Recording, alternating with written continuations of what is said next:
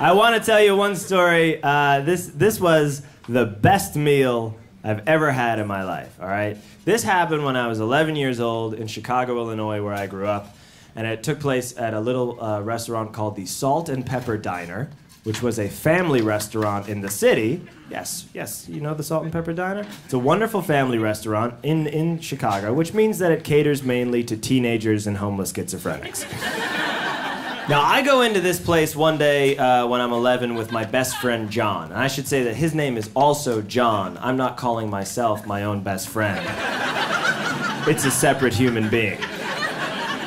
We walk into the Salt and Pepper Diner one day, and they had a jukebox there, all right? And the jukebox was three plays for a dollar. So we put in $7 and selected 21 plays of Tom Jones's What's New Pussycat. And then we ordered and waited. Here's the thing about when What's New Pussycat plays over and over and over and over and over again. The second time it plays, your immediate thought is not, hey, someone's playing What's New Pussycat again.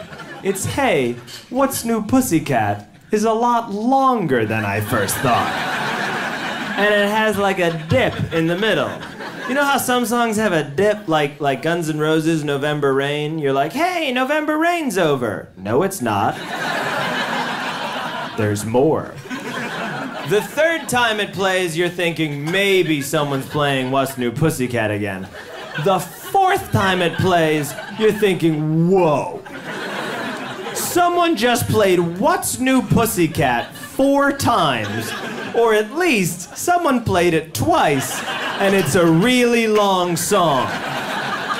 So, the fifth time is the kicker. Now, we're watching the entire diner at this point. Most people have gotten wind as to what's going on. And we're staring at this one guy, and he's sitting in his booth, and his like hand is shaking while his stupid kids jump around, and like he's been onto us since the beginning.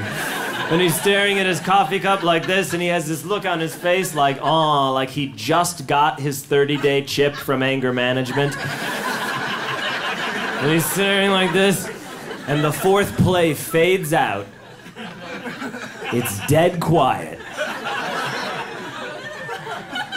And then, I don't know if you know this, but the song begins very subtly. Blah, what's new, pussycat? And the guy goes, God damn it! And pounds on the table, and silverware flies everywhere, and it was fantastic. But a word about my friend John and what a genius he was. Because when we were first up at the jukebox and we were punching in the What's New Pussycats, right?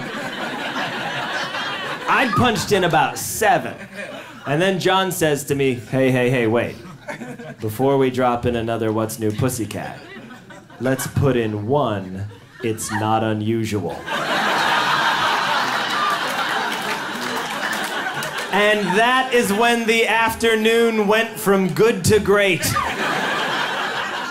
After seven What's New Pussycats in a row,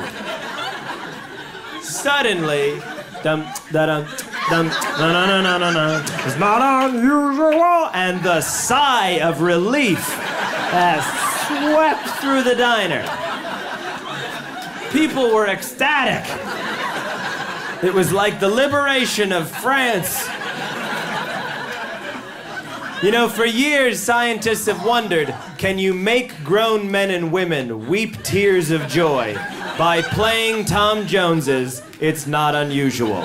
And the answer is yes, you can. As long as it is preceded by seven What's New Pussycats. And on the other hand, when we went back. Holy sh.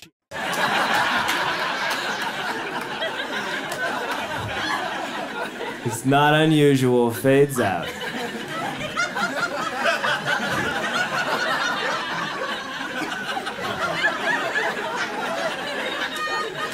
It's dead quiet. Wah, wah, What's new, pussycat? People went fucking insane. No one could handle it. One could handle it. And they were surrounded by this like seemingly indifferent staff, you know, that was just like, yep, same shit as always. My only wish is that one of the schizophrenics had stood up and been like, now you know. Now you know what it's like to live in my brain. They unplugged the jukebox after 11 plays. And that was the best meal I've ever had. Thank you very much, San Francisco. This was great. Thank you. Hope to see you again real soon. My name's John Mulaney. Have a good night.